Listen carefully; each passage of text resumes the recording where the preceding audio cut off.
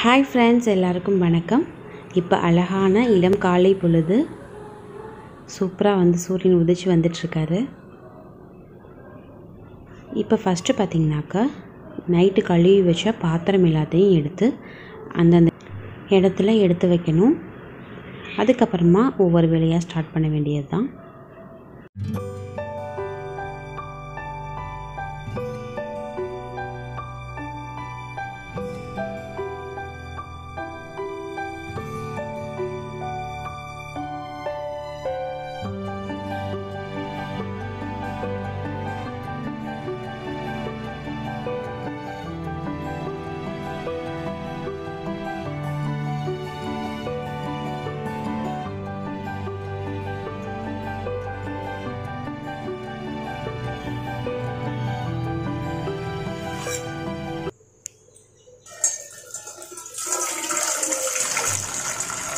இன்றைக்கி ஃபுல்லும் பார்த்திங்கன்னா நான் என்னெல்லாம் சமைக்கிறேன் அப்படிங்கிறத இந்த வீடியோவில் பார்க்கலாம். ஃபஸ்ட்டு தண்ணி சூடு பண்ணிக்கிறேன் தம்பிக்காக. அதுக்கப்புறமா அவனுக்கு கஞ்சி செய்ய போகிறேன் அது எதில் அப்படின்னு பார்த்தீங்கன்னா பயத்த மாவு அதே போல் உளுந்த மாவு சேர்த்து வச்சுருக்கேன். பைத்தம்பருப்பு கருப்பு உளுந்து ஏலக்காய் இதெல்லாம் போட்டு நல்லா வறுத்துட்டு பொடி பண்ணி வச்சுருக்கோம். இதை வந்து ஒரு ஸ்பூன் வந்து டெய்லி கொடுப்பேன். ஸோ ஃபஸ்ட் இன்றைக்கி இதான் செய்ய போகிறேன் இதோட கொஞ்சமாக உப்பு போட்டு அப்புறம் நாட்டு சக்கரை சேர்த்துக்கணும். சேர்த்து நல்லா கிண்டி கொடுத்தோனாக்கா சூப்பரான ஒரு கஞ்சி ரெடி ஆயிரும். இது குழந்தைங்க எல்லாருக்குமே ஒரு எட்டு மாதத்துலேருந்தே கொடுக்கலாம். ரொம்ப சூப்பராகவும் இருக்கும்.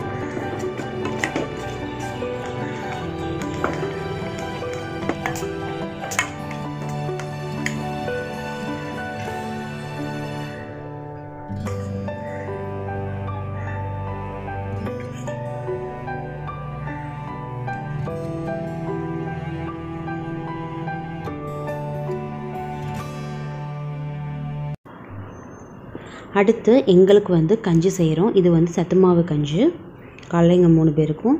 ஃபஸ்ட் வந்து சத்து மாவு கஞ்சி வந்து செய்கிறோம் இது சும்மா நல்லா ஒரு ரெண்டு ஸ்பூன் அளவுக்கு சத்து மாவு எடுத்து போட்டு தண்ணி ஊற்றி நல்லா கொதிக்க வச்சுட்டு அதோட நாட்டு சக்கரை சேர்த்துக்கணும். அவ்வளோதான் இதில் வந்து தேங்காய் பூ வேணாலும் சேர்த்துக்கலாம். நான் அது சேர்த்துக்கல. இப்படியே சாப்பிட்டா தான் வந்து என் பொண்ணு வந்து சாப்பிடுவா. அதுக்காக நான் இப்படியே செஞ்சுக்கிறேன். ரொம்ப டேஸ்டியாக இருக்கும். நல்லா வந்து எல்லா பொருளும் சேர்த்துருக்கறதுனால ரொம்ப ஒரு ஹெல்த்தியான ஒரு ரெசிபி தான் அது. ஸோ குழந்தைங்களுக்கு கண்டிப்பாக இது கொடுக்கணும்.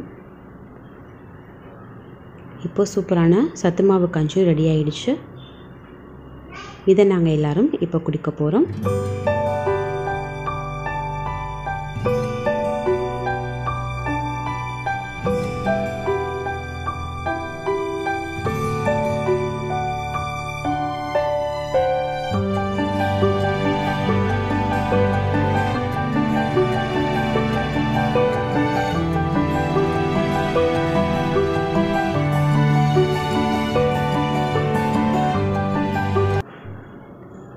இப்போ டைம் பார்த்திங்கன்னா ஒரு பத்து மணி இருக்கும். இப்போ நாங்கள் எல்லோரும் இப்போ இட்லி ஊற்றி சாப்பிட போகிறோம் இட்லிக்கு வந்து தேங்காய் சட்னி செய்ய போகிறேன் இந்த டைம் பார்த்தீங்கன்னாக்கா என் தம்பிக்கு வந்து ஒரு இட்லியும் ஊட்டிடுவேன். இட்லி வந்து நல்லா சீக்கிரமாக செரிக்கக்கூடியது. அதே போல் குழந்தைங்க எல்லாருக்கும் ஆறு மாதத்துலேருந்தே கொடுக்கலாம். ஸோ தம்பிக்காகவும் நான் வந்து இட்லி ஊற்றி வச்சுருக்கேன். இப்போது இட்லியோட தேங்காய் சட்னி வந்து செய்ய போகிறேன் அதுக்கு பார்த்திங்கன்னா ரெண்டு பச்சை மிளகாய் எடுத்துக்கிறேன். கொஞ்சமாக பொட்டுக்கடலை கொஞ்சமாக தேங்காய். அவ்வளோதான் இதை சேர்த்து தான் தேங்காய் சட்னி செய்ய போகிறேன் ரொம்ப சூப்பராக இருக்கும். ரொம்ப காரமும் இல்லாமல் கரெக்டாக இருக்கும்.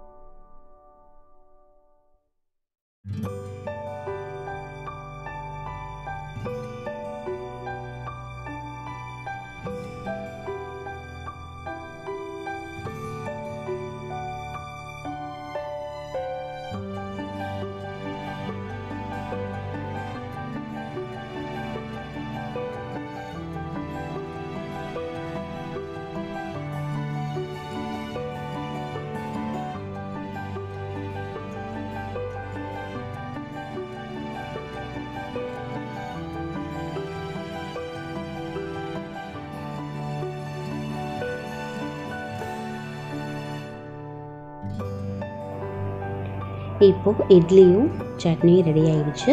இனிமேல் நாங்கள் சாப்பிட வேண்டியதுதான். அதுக்கப்புறம் மத்தியானத்துக்கு என்னெல்லாம் செய்கிறேன் அப்படிங்கிறதையும் காமிக்கிறேன் பாருங்கள்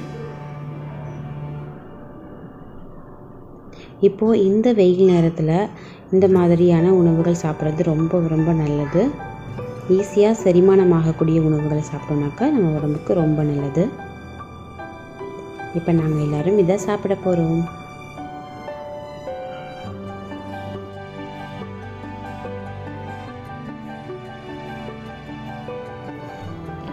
அடுத்து லஞ்சுக்கு பார்த்திங்கன்னா சாதம் வந்து ரைஸ் குக்கரில் வச்சுருக்கேன்.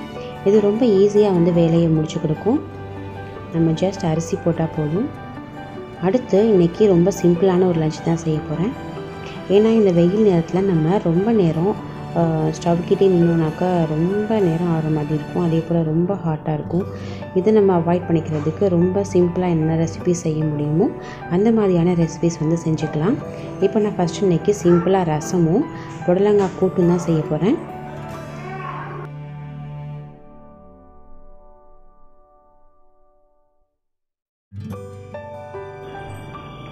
இந்த புடலங்காய் கூட்டு பார்த்திங்கன்னா ரொம்ப சிம்பிளாக செஞ்சிடலாம். ஒரே ஒன் பார்ட் ரெசிபி அப்படி தான் இருக்கும். ஜஸ்ட் நம்ம குக்கர் எடுத்து வச்சுட்டு அதில் கொஞ்சமாக எண்ணெய் ஊற்றிட்டு கடுகு சீரகம் போட்டுக்கலாம். நல்லா கடுகுலாம் வெடிச்சதுக்கப்புறமா சின்ன வெங்காயம் கொஞ்சம். அப்புறம் வந்து காரத்துக்கான பச்சை மிளகாய் சேர்த்துக்கலாம்.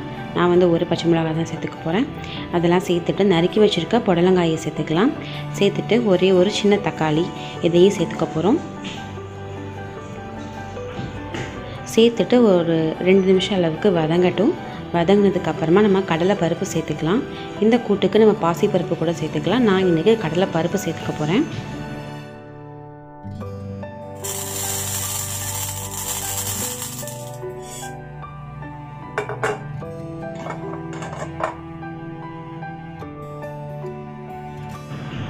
இப்போது கடலை பருப்பை நல்லா கழுவிட்டு நம்ம அதோட சேர்த்துக்கலாம்.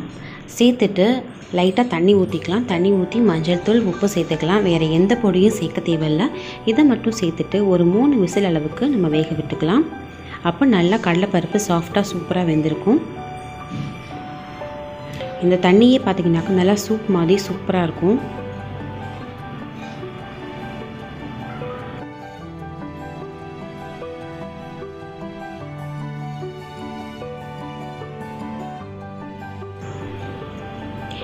அதுக்கடுத்து ரசம் செய்கிறதுக்காக சீரகம் மிளகு எல்லாத்தையும் நச்சு வச்சுக்கலாம். அதோட கொஞ்சமாக பூண்டும் போட்டு நச்சுக்கலாம். அதோட ஒரு பெரிய சீஸ் அளவுக்கு தக்காளியும் நறுக்கி வச்சுருக்கேன்.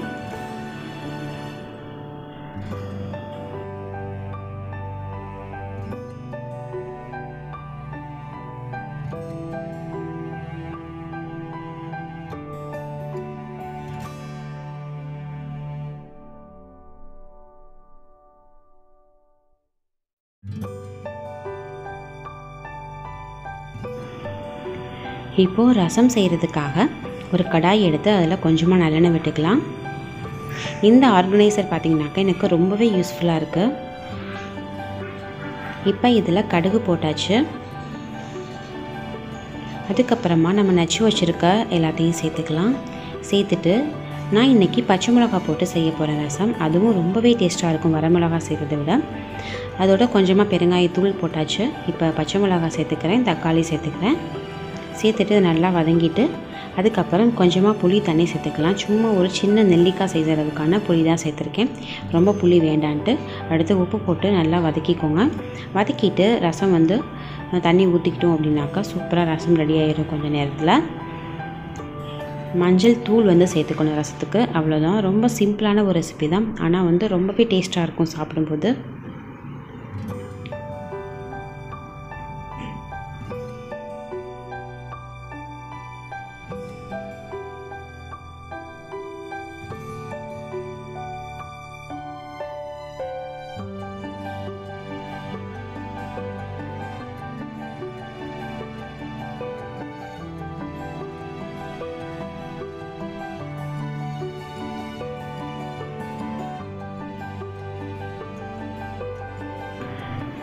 ஃபைனலாக கொத்தமல்லி இலை வந்து போட்டுக்கலாம். இப்போ அதுக்காக நறுக்கிட்டு இருக்கேன். அதையும் இதோட சேர்த்துட்டோம்னாக்கா சூப்பரான ரசம் ரெடி ஆகிடும்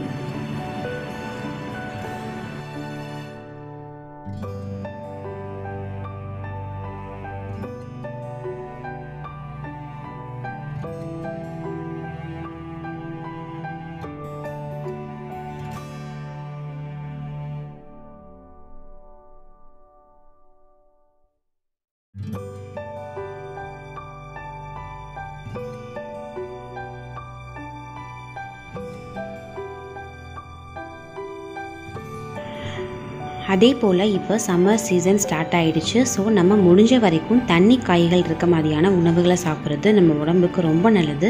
நம்ம உடம்ப நல்லா குளிர்ச்சியாக வச்சுக்கலாம். ஸோ முடிஞ்ச அளவுக்கு தண்ணி காய்கள் எல்லாத்தையுமே சேர்த்து சாப்பிட்லாம். ரொம்ப எண்ணெயில் பொரிச்ச ஐட்டம்ஸ் இந்த மாதிரிலாம் சாப்பிடாம நல்லா வேக வச்ச உணவுகளாக சாப்பிட்டோம்னாக்கா ரொம்ப ரொம்ப நல்லது. டெய்லி வந்து எல்லாருமே வந்து தயிர் வந்து சேர்த்துக்கணும். அதுவும் நம்ம உடம்ப வந்து நல்ல ஒரு குளிர்ச்சியாக வந்து வச்சுக்கும். இப்போ எங்களுக்கு சூப்பரான சாப்பாடு ரெடி ஆயிடுச்சு. சாதம் ரசம் அப்புறம் புடலங்காய் கூட்டு. இதை தான் நாங்கள் இன்றைக்கி சாப்பிட போகிறோம் ப்ளஸ் வந்து தயிர் இருக்குது அதுவும் சேர்த்து சாப்பிடுவோம்.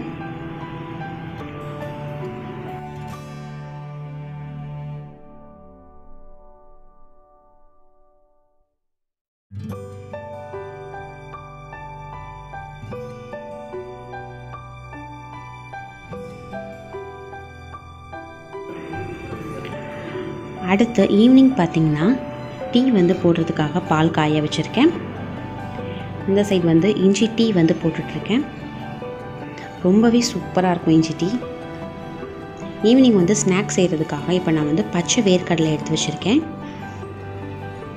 இதை ஃபஸ்ட்டு வேக வச்சுக்கலாம். கொஞ்சமாக தண்ணி ஊற்றி லைட்டாக உப்பும் சேர்த்துக்க போகிறேன் சேர்த்து வேக வைக்க போகிறேன்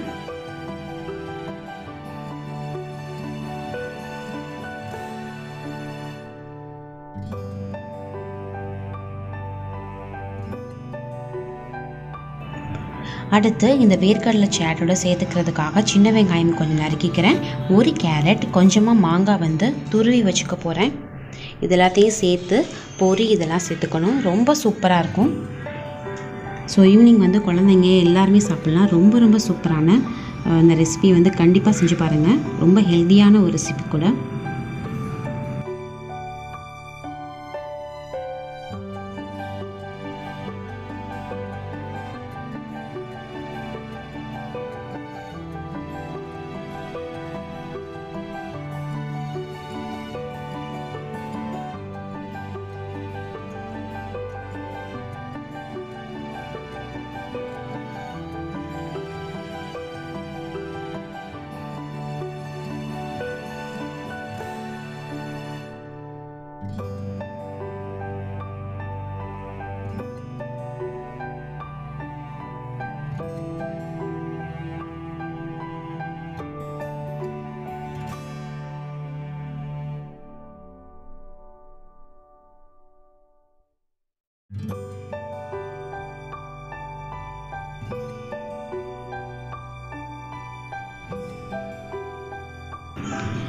இப்போது கடல் நல்லா வெந்துருச்சு. ஸோ அதையும் வடிகட்டிட்டு எல்லாத்தையும் சேர்த்தாச்சு. இப்போ துருவி வச்சுருக்க கேரட் மாங்காய் அப்புறம் வெங்காயம் இதெல்லாம் சேர்த்துக்கலாம். சேர்த்துட்டு இதோட கொஞ்சமாக பெப்பர் பவுடர் வந்து சேர்த்துக்கலாம். சேர்த்துட்டு நல்லா மிக்ஸ் பண்ணி விட்டோம்னாக்கா சூப்பரான சாட் வந்து ரெடி ஆயிடும் இதோட வேணும்னாக்கா நீங்கள் சாட் மசாலா கூட சேர்த்துக்கலாம்.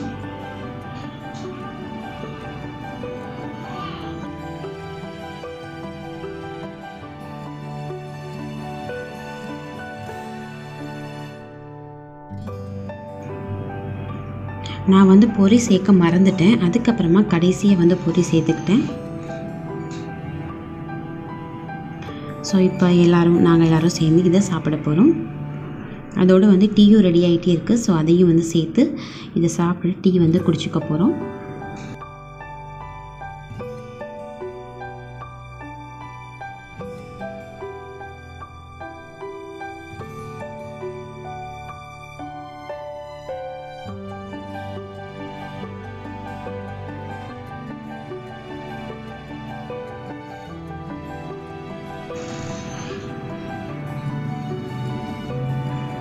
அதே போல் வெயில் காலம் ஸ்டார்ட் ஆனதுனால முடிஞ்ச அளவுக்கு நம்ம நிறைய அளவுக்கான தண்ணி வந்து குடிச்சிட்டே இருக்கணும்.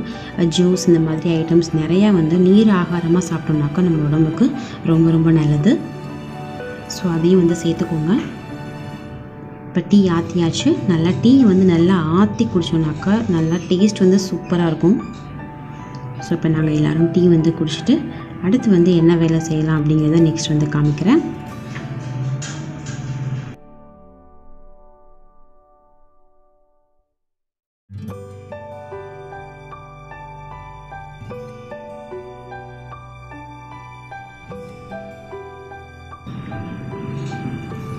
இப்போது டின்னர் பார்த்தீங்கன்னாக்கா இட்லி தான் செய்ய போகிறேன் ஏன்னா தம்பிக்கும் வந்து இட்லி கொடுக்கணும் அப்படிங்கிறதுக்காக நாங்கள் தோசை ஊற்றிக்காமல் இட்லியே ஊற்றிக்க போகிறேன் அதுக்கு சிம்பிளாக வந்து கார சட்னி தான் செஞ்சுருக்கேன். வேறு எதுவும் ஸ்பெஷலாலாம் செய்யலை. இது ரெண்டு மட்டும்தான் செய்ய போகிறோம் அவ்வளோதான் இதை நல்லா வதக்கிட்டு தாளிச்சோம்னாக்கா சூப்பரான கார சட்னியும் இட்லியும் ரெடி ஆயிரும்.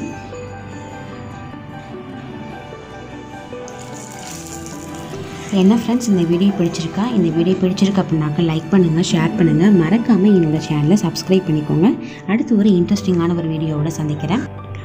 Thank you friends